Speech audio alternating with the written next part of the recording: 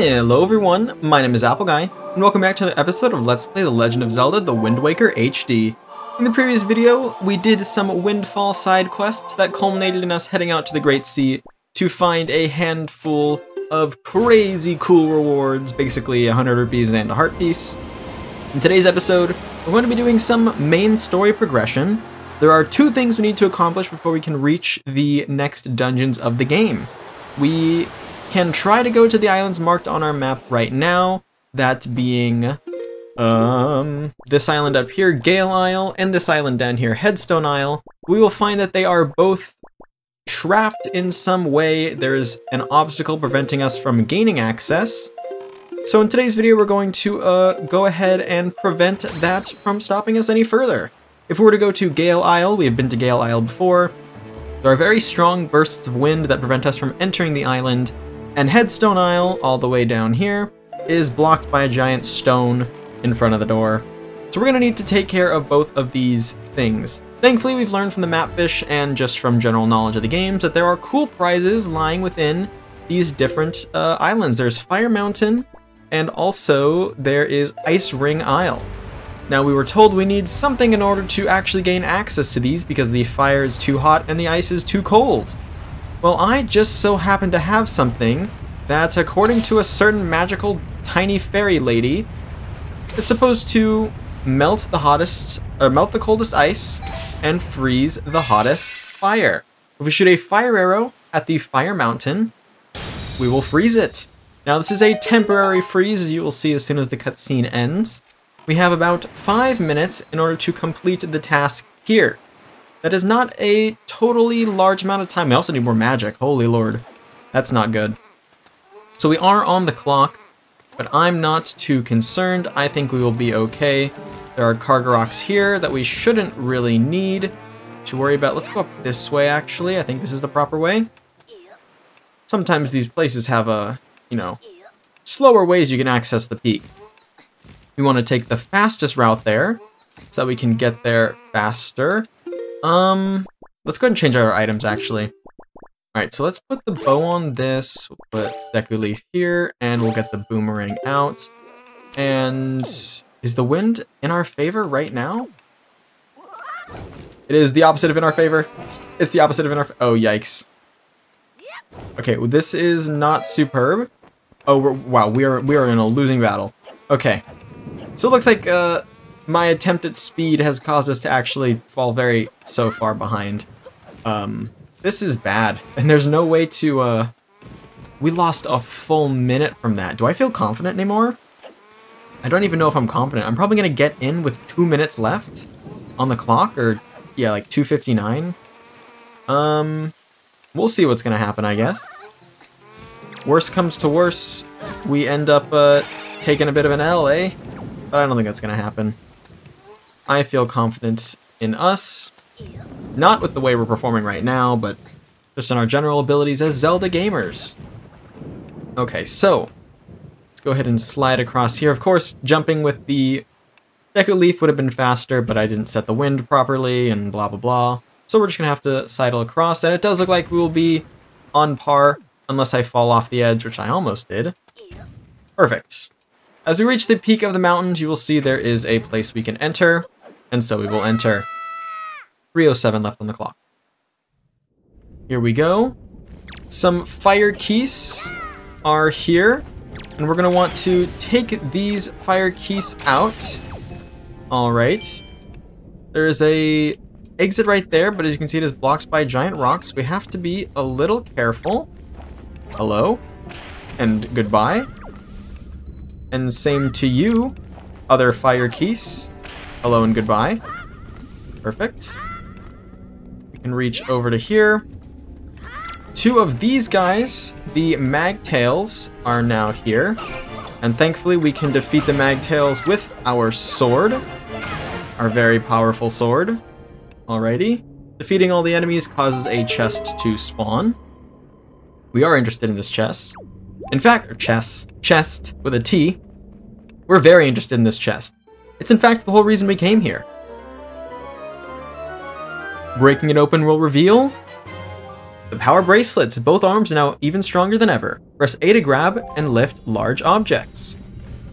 So, if we ever see faces on rocks like this, we can grab them and throw them, allowing us to have free access to Headstone Isle. That's why it's called Headstones, because the stone is shaped like a head. It's not like a gravestone. Clean out these last two guys. You'll notice the timer goes away as well, by the way, once we finish the, uh, the challenge. So yeah, we're free to roam now. We just need to leave. The next place we need to head is Ice Ring Isle.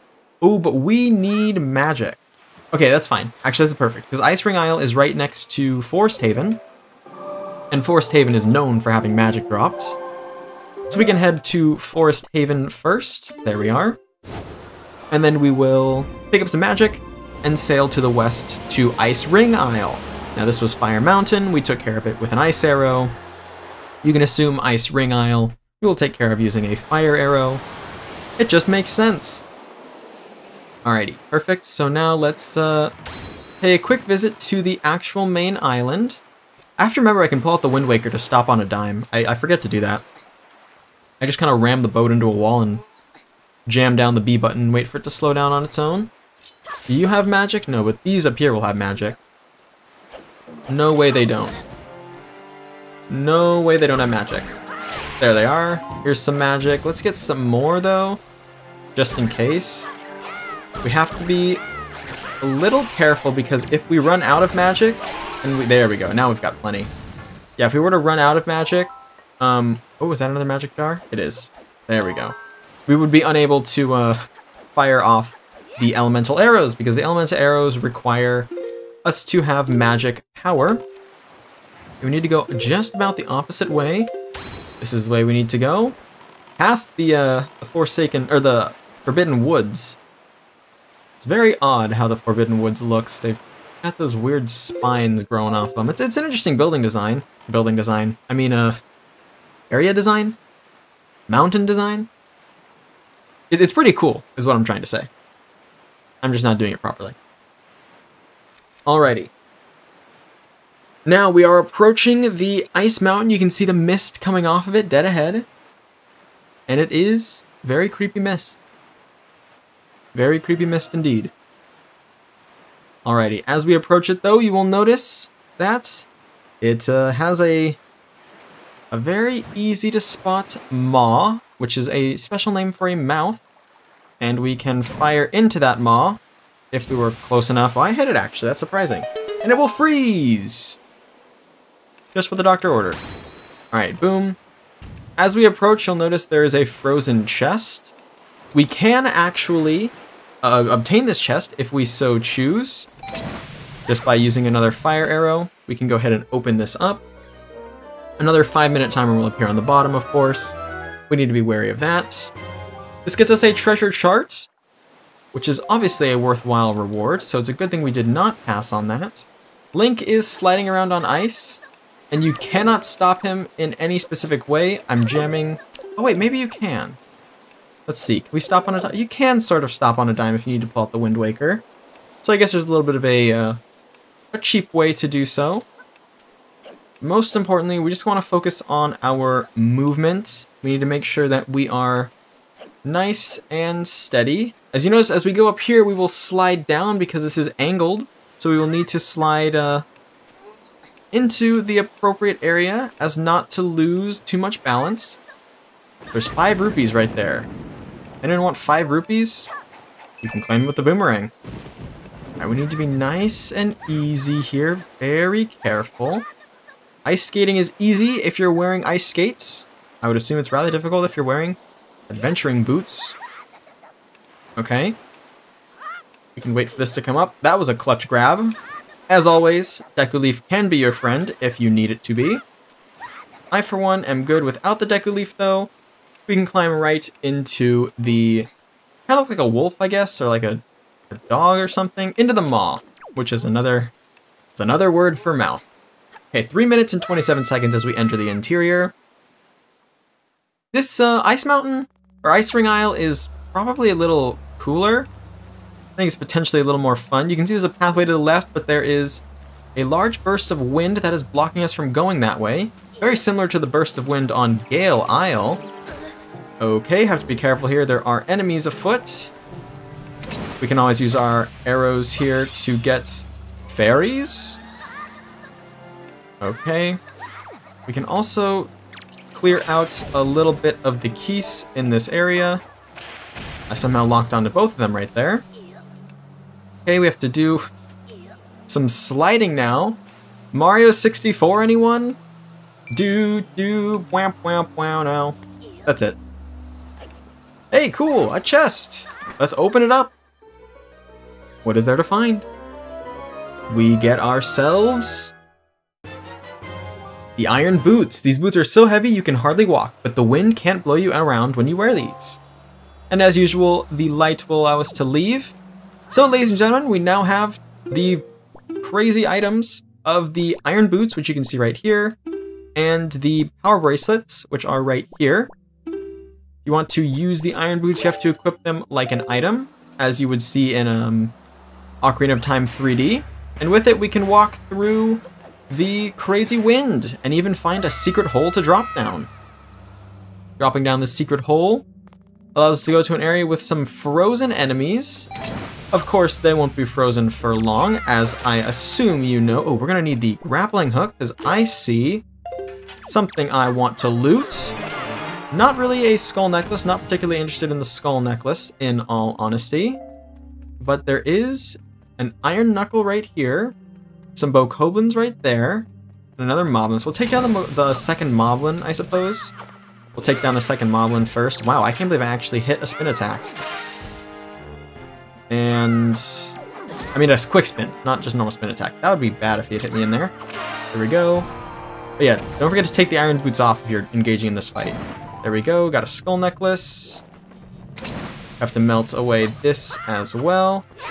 Oh, these guys are important actually, because they give... What do they you give? Oh, yep, the uh, joy pendants, which we do need. Alrighty. And lastly, we have this gentleman right here, the Darknut. We did start behind him, but no, we can't just uh, poke his armor off. There we are. Poking off his armor makes him easy peasy to deal with. And we can take off his Knight's Crest as well, which we are going to need for an upcoming little side endeavor. I want to pick up his own sword to use against him. Hey, Karate Master. Oh, hey, that is a Bokoblin stick you just picked up. I mean, a Moblin stick. There we go, we took care of him and defeating all the enemies will unlock another chest. It is a second bonus chest of this area. We got the one outside, which was a treasure chart. Now we have access to this one right here as well, which we can open up and get 100 rupees. A fair little prize indeed. Nice little reward to get, I would say. Voila. And with that, we can leave. We are free to exit the island as we see fit. If you equip the iron boots on the ice, you won't slip and slide around, which is good if you have more ice exploration to do. However, we are done with ice exploration. We've done the two things we needed to do. Now, technically, we could walk right into either one of the Story Progress Islands, which is really, really cool. All right, so let's go ahead and take a peek at the treasure chart. We do have one we got, right? Yep, there it is, treasure chart 36. We're gonna have to pick that one up uh, later on. But that is actually going to be it for today's video, ladies and gentlemen. I want to thank you all so, so much for watching. If you have enjoyed, please like and subscribe, and tell your friends about the series if you think they would enjoy it. It means a lot to me when you guys spread my videos around. And I'll catch you guys all back here next time for the next episode of Let's Play The Legend of Zelda The Wind Waker HD. Until then, as always, take care.